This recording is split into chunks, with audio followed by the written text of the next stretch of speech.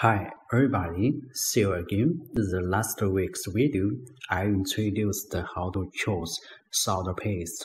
Today, I will talk about the topic of the solder paste printing process. I reckon this is the most important process in the PCBA industry.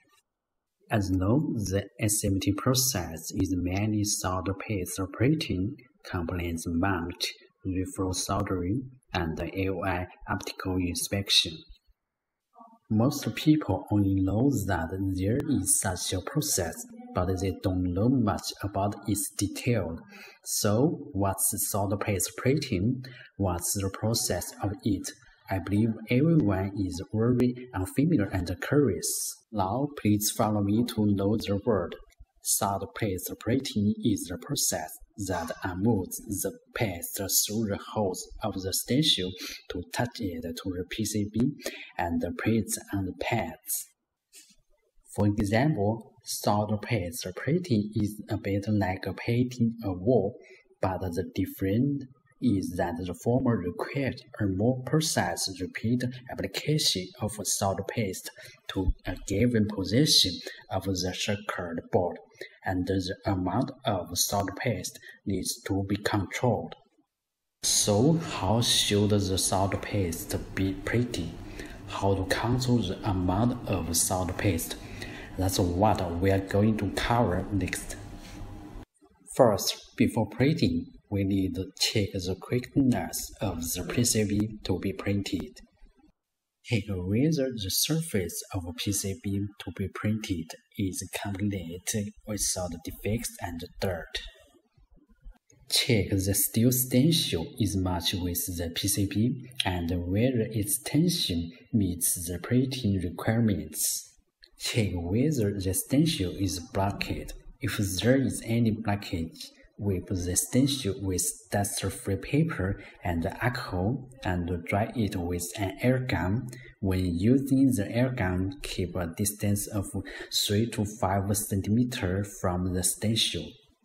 Check whether the solder paste used is correct and whether it's used in accordance with storage and use of solder paste. Remarks Pay attention to the temperature recovery time, storing time, the distinction between lead-free and lead-containing extra. Secondly, we have to debug the printing equipment.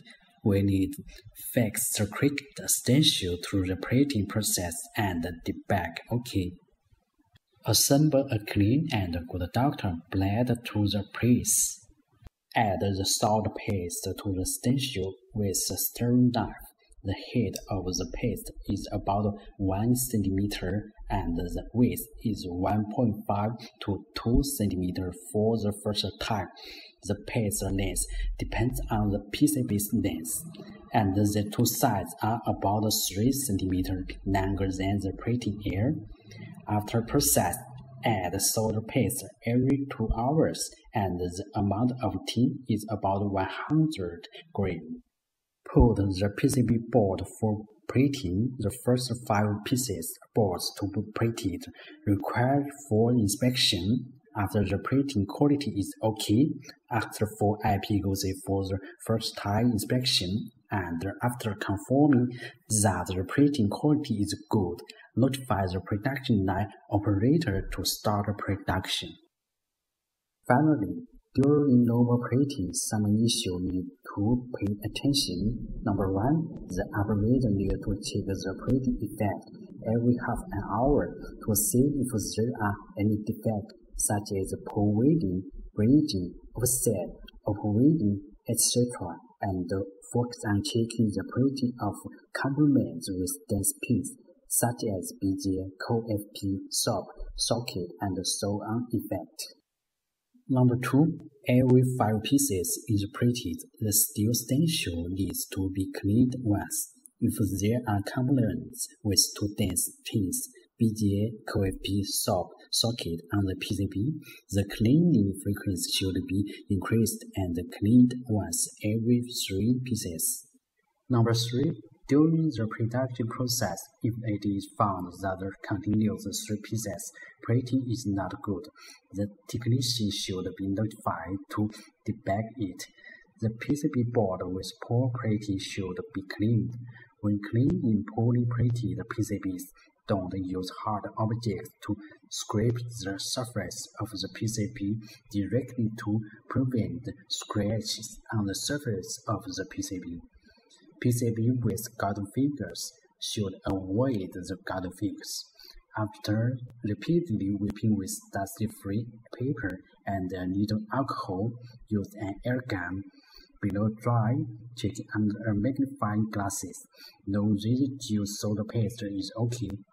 On printing process, it's necessary to regularly check whether the solder paste overflows and collect the overflowing solder paste. After the production is over, the accessory and tools such as solder paste, scraper, and stencil should be recovered, and the fixture should be cleaned according to the storage and use of solder paste and guidelines for cleaning of stencils. Finally, please subscribe to our channel if you like the video. Click the like button and hit that bell button. It will remind you when we update the new video. You could leave a message in the comment here if you have any questions. See you later.